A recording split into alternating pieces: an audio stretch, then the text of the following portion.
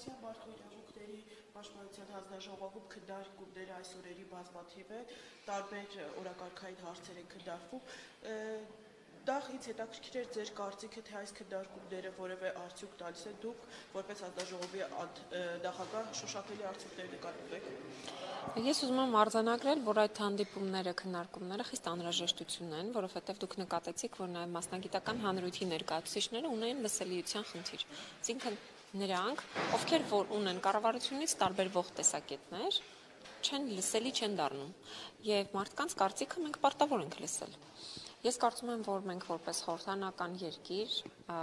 մեր հանձնաժողովը արդեն կիրառում է իր խորհրդանական վերահսկողության գործիքակազմը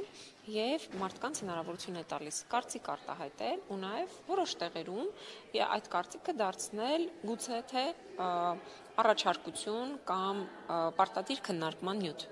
Ինչու, որովհետեւ մինչեւ հիմա մենք լսել ենք միայն օրինակ պատվաստումների պարտադրանքի մասին հրապարակումներ, կոչեր, հորդորներ, բայց հակառակ կարծիքը պետական որևէ օղակում լսելի չէ։ Ու սա նորմալ չէ, որովհետև այսօր տեսակ, որ շատ հարգարժան բժիշկներ, ինչպես նաև իրավաբաններ, իրենց տեսակետը արտահայտելիս հստակ պնդեցին, որ նախ հոկտեմբերի 1-ից որևէ մեկը չի կարող պարտադրել որևէ աշխատակցի որ պարտադիր կամ ՊՇՌ թեստի արդյունքները ներկայացնի կամ պատվաստման մասին սերտիֆիկատ, որովհետև նման պարտադրանքով չի կարելի առաջնորդվել, քանի որ դա խախտում է Հայաստանի Հանրապետության սահմանադրությունը, ինչպես նաև խտրականության մասը սահմանադրության։ Եվ նաև բժիշկները բարձրաձայնեցին խնդիրը, որ ըստ էության մենք ունենք այսօր գեր ծանրաբեռնված բժշկական համակարգ եւ մենք պետք է հասկանանք նույնիսկ եթե մահացության դեպքերով սպառնում են կառավարության շատ ներկայացուցիչներ, որ այ չեք պատվաստվում դրա համար մահացության դեպքերը շատանում են։ Դա իհարկե այս վերջի շրջանում են, որ սկսել է այդպիսի դիսկուրս։ Այնուամենայնիվ մենք հասկացանք, որ առաջնային օղակները բժշկական օգնության թերանում են որովհետև հիմնականում մարդիկ, ովքեր որ ծանրա ծանրանում են նրանց առողջական վիճակը, հիմնականում հոսպիտալացվում են ավելի ուշ, այսինքն երբ որ դժվար է լինում արդեն մարդկանց կյանքը փրկել։ Եվ ստացվում է, որ տեղական առաջնային օղակի բժշկական, ինչպես նաև կազմակերպչական շատ այլ թերությունների պատճառով մենք ունենում ենք մահեր եւ այդ մահերը հիմա փորձ են արվում բարթել քաղաքացիների վրա, այ որ դուք չեք պատրաստվում, չեք պատվաստվում, դրա համար մահեր են լինում։ Ես ուզում եմ ասել, որ մի քանի օր առաջ Եվրախորհրդից ներկայացուցիչներ կային այստեղ, մենք քննարկում ենք նաև այս հարցը եւ իրենց մոտ հստակ կար ձևավորված մոտեցում, որ չպետք է մարդկանց պարտադրել պատվաստվել։ Դու պետք է մարդկանց գիտակցությունը բարձրացնես այն աստիճանի, որ մարդը կամավոր ցանկանա պատվաստվել։ Իսկ դու գիտեք, որ մինչև այժմ Հայաստանում քարոշչությունը գնացել է։ Պատվաստվեք, մենք ձեզ կտանք թատրոնի տոմս։ Պատվաստվեք, որպեսզի ճամփորդեք, այսինքն պատվաստան նյութը դառնում է որոշակի խթան այլ գործողությունների, բայց ոչ երբեք ինքնապաշտպանության, առողջության իմաստով եւ նաեւ շրջակա միջավայրի անվտանգության իմաստով։ Սա շատ կարեւոր մեսիջ է, որ պետությունը Մինչև հիմա չի կարողացել տեղ հասցնել եւ նույնիսկ այսքան պարտադրանքները պետական ապարատի այսպես սեղմումները, ճնշումները բերել են ընդհանրապես նրա, որ 8-9% պատվաստում ունենք եւ մենք չենք կարող ունենալ այնպիսի հասարակություն, որ 8-9% ունենա պատվաստված քաղաքացիներ եւ մնացած 93-97%-ին ստիպեն հակառակն է լինում։ Օրինակ տարբեր երկրներում ենթադրենք 70% ինքնակամ կամ որևէ այլ խթանիչ գործոններով պայմանավորված պատվաստվում է, մնացած 30%-ի հետ նոր սկսում են պարտադրանքի լեզվով խոսել կամ 20%-ի։ Իսկ ստացվում է, որ Հայաստանում գրեթե 100%-ի հետ են պարտադրանքի լեզվով խոսում։ Ինֆորմացիան բարձրացած, որ այս քննարկումից ավելի կարևոր գործեր ունեն նախարարը եւ կեսից հեռացավ, հա, այդպես էլ բոլոր հարցերին չպատասխանելով չեք պատրաստվում անվստահություն հայտնել նախարարին։ Անվստահության հարց կարծում եմ այստեղ չկա, որովհետև տիկին նախարարը նախապես զգուշացրեց, որ կոմիտեի նիստի է կառավարությունում, իսկ դա իր պաշտոնական պարտականություններից բխող գործառույթ է, դրա համար նա մեր քննարկմանը տրամադրել էր ժամուկես, 1 ժամուկես եւ 1 ժամուկեսի ընթացքում ինչքան հասցրեց պատասխանել հարցերին, պատասխանեց, այլ հարցը, որ նա ընտրել էր հետեւյալ տակտիկան, պատասխանները տալիս էր բավականին երկար ու իմ կարծիքով գուցե սուբյեկտիվ ամբողանդակ եւ հետեւաբար անընդհատ առաջանում էին հարցեր ու մարդկանց մոտ տպավորություն էր, որ նա հարցերին չի պատասխանում Նա հարցերին պատասխանում էր, բայց ըստ էության չպատասխանելով։ Ամեն դեպքում նա տապալել է, հա, այս պայքարը կորոնավիրուսի, եթե կարելի այսպես գնահատել անվստահություն հայտնել եք թե ոչ։ Անվստահության մասին ես ինքնուրույն չեմ կարող նման գործընթաց նախաձեռնել դա թերևս թիմային աշխատանքի արդյունք է, որը ես այս պահին չեմ կարողացել պատասխանել, բայց ես կարող եմ վստահեցնել, որ առողջապահական համակարգը իմ տպավորությամբ չի իրականացնում այն անհրաժեշտ բոլոր քայլերը, որpիսի Հայաստանում մարդիկ լինեն անվտանգ առողջապահական միջավայրում։ Չեն իրականացվում ուղղակի։ Դուք հիշեցիք, որ քննարկման ներկայացուցիչները կողմ չէին նախարարի տված պատասխաններից։ Հնարավոր է դուք քննարկում նախաձեռնեք, որը ժամանակի ակումբ ավելի մեծ հնարավորություն պատասխանել։ Ես մտադրություն ունեմ նախաձեռնել խորհրդանական լսումներ, բայց խորհրդանական լսումները երկու ձևաչափով է իրականացվում կամ հանձնաժողովի կամ խմբակցության։ Հիմա կտեսնենք, եթե մեր հանձնաժողովի անդամները առարկություններ ունենան, գուցե խմբակցության ձևաչափը օգտագործենք եւ ես հակված եմ այնուամենայնիվ մեծ լսումներ իրականացնելու եւ մարդկանց խոսքը լսելի դարձնելու, որովհետեւ ես հասկացա, որ ասելիքը շատ է, հակափաստարկները շատ են եւ դրանց պատասխան պատասխանները ուղակի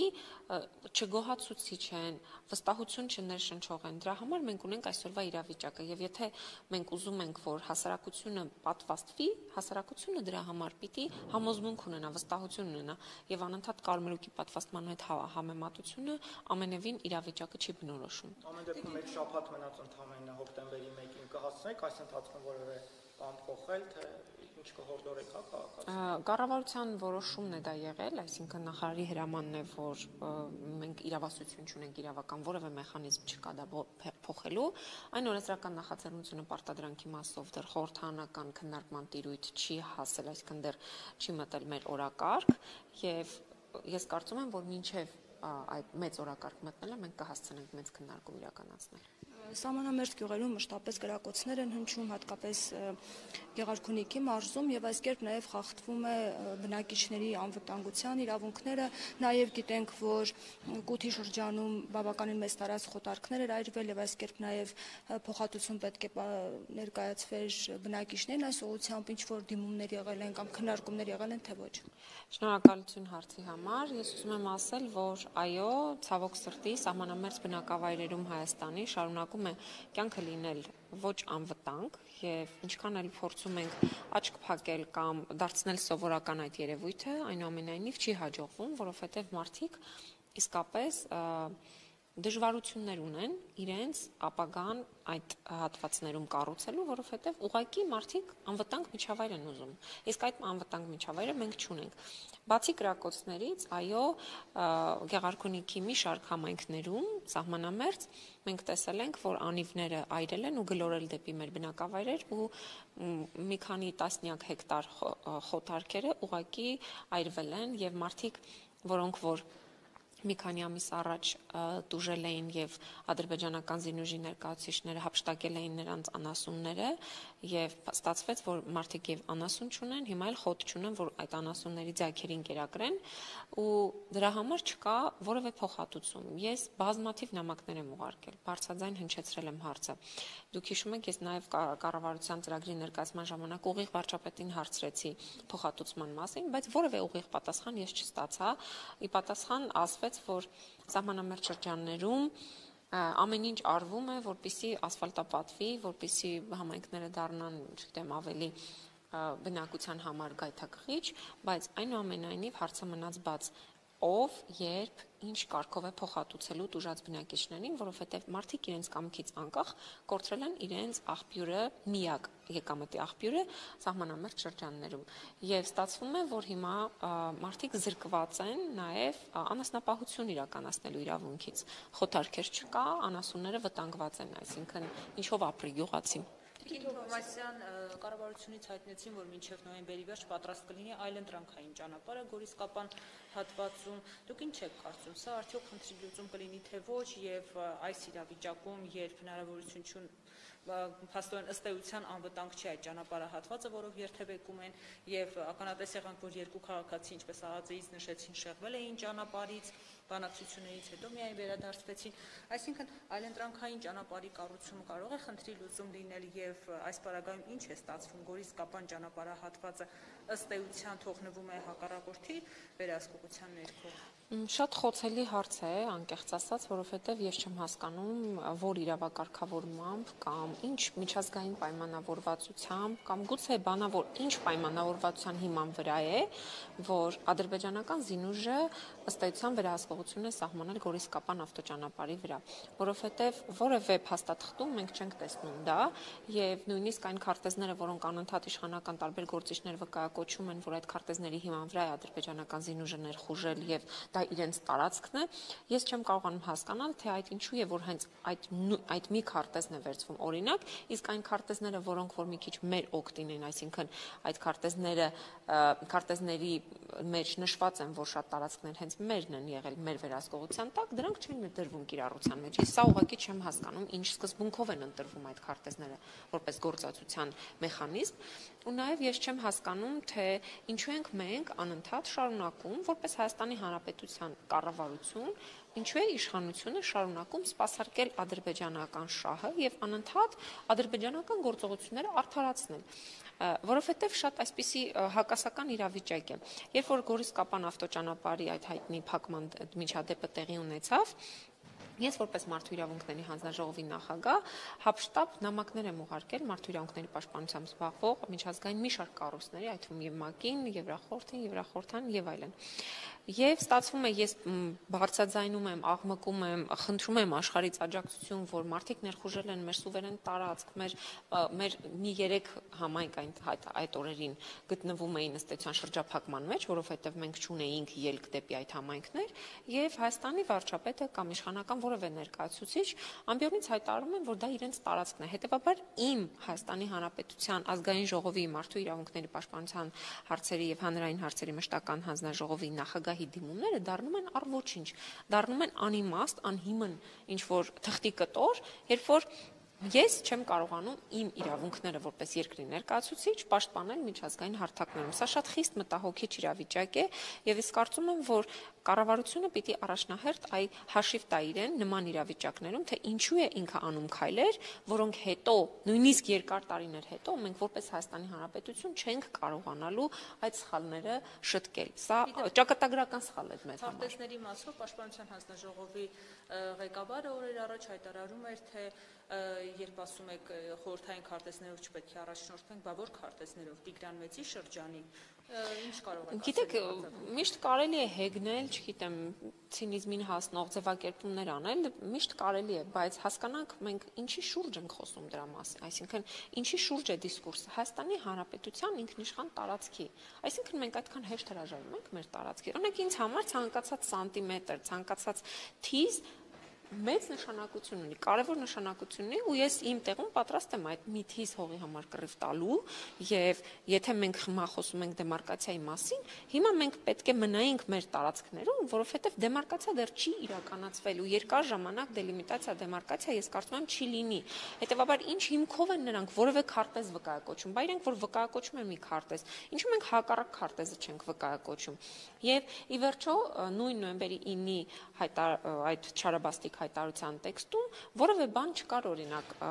Սյունիքի սահմանների վերաբերյալ եւ մենք պիտի մեզ մնար նաեւ բավականին մեծ տարածք։ Իսկ հիմա ստացվում է, որ մենք ոչ միայն կորցրեցինք Արցախին հարակից այդ տարածքները, նաեւ նաեւ Սյունիքն է հիմա ըստ էության կորսված ու նաեւ Սյունիքի որոշ հատվածներ ու նաեւ ուզում եմ ասել, որ այն ԱԱԾ-ի այն հայտարարությունը, թե քաղաքացիները մոլորվել եւ անցել են, դա ուղղակի անհեթեթ հայտարարություն էր, ես չհասկացա դրա իմաստը որն էր, որովհետեւ մենք բոլորս էլ երթևեկել ենք այդ ավտոճանապարհով, այնտեղ անհնար է մոլորվել։ Դու ուղիղ ճանապարհով գնում ես, դա նշանակում է քեզ պիտի կանգնեցնեն առևանգեն։ Ուրիշ տարբերակ չկա մոլորվելու։ Եվ հետեւաբար ծաղրել մի ողջ հանրության ասել մոլորվել են, ես կարծում եմ սա ամենալավ լուծումը չէ, եւ որպես ազգային անվտանգության ծառայություն նրանք պարտավոր են մեր անվտանգությունը ապահովել, այլ ոչ թե ադրբեջանական զինուժի գործողությունները գործողությունները արդարացնեն։ Տիկին Թովմասյան օրերս վարչապետն Ակոպցետոդի շաբաթակ ունեցած իր ելույթում հա, հայտարարեց, որ հաղթել պարտադիր չէ, երբևէ նույնիսկ պետք չէ հաղթել ուրիշների Եթե հիշեք, պատերազմի ժամանակ վարչապետ Նիկոլ Փաշինյանը նմանատիպ մի ձևակերպում արել էր, որ մոտավորապես եկեք պայմանավորվեք, որ եթե անգամ պարտվեք, մեզ պարտված չենք զգա։ Այսինքն այս ելույթում մենք գիտենք, որ վարչապետ Փաշինյանի ելույթներում ոչինչ պատահական չի լինում, ոչ մի եզրույթ ձևակերպում, հասարակությանը պատրաստում էր նոր տարածքներ տալու նոր պարտությունների։ Ես կարծում եմ հաղթանակ բառը մենք ուղղակի տարբեր ընկալումներ ունենք հաղթանակ բառի նկատմամբ եւ